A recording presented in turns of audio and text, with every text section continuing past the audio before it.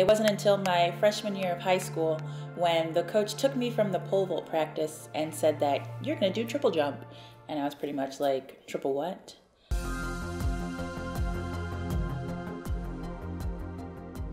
It means the world to be the American record holder. When I'm standing on the edge of the runway, uh, my focus is not so much on technique anymore. It's just to perform. It's to bring that animalistic nature that comes with power and just that energy that competition brings out and focus it on a single goal.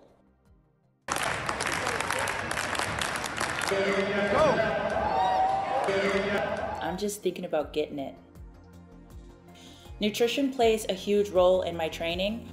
Three or four years ago, I became vegetarian and I feel amazing. I feel like I have so much energy. It's just like my body is able to perform the way it needs to.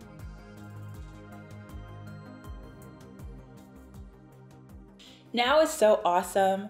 I love the healthy snacks, uh, the pistachio, the mango slices, the almonds. I use all those to make different trail mixes.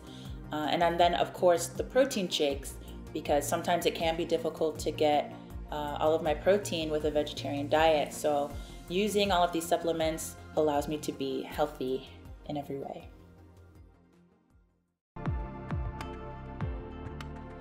My attitude now on the runway is much different than when I was in college.